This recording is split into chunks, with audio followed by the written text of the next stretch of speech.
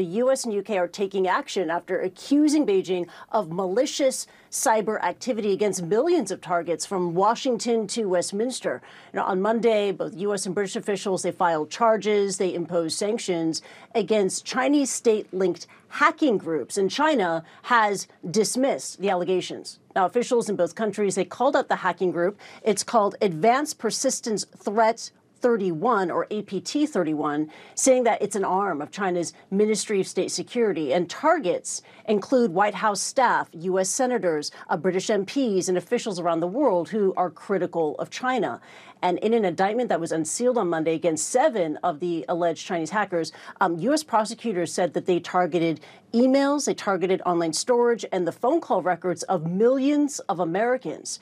Uh, we have a statement for you. Let's bring it up. This is from the FBI Director Christopher Wray, who said this, quote, today's announcement exposes China's continuous and brash efforts to undermine our nation's cybersecurity and to target Americans and our innovation. Now, officials in the UK call this group APT 31, accuse them of of hacking British lawmakers who are critical of China.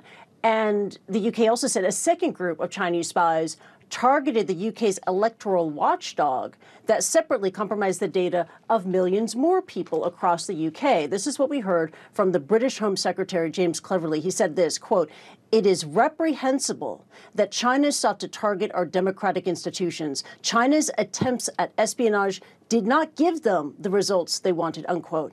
Uh, the U.S. identified the hackers with the help of the Five Eyes. This is the intelligence sharing alliance between the U.S., UK, Canada, Australia, and New Zealand.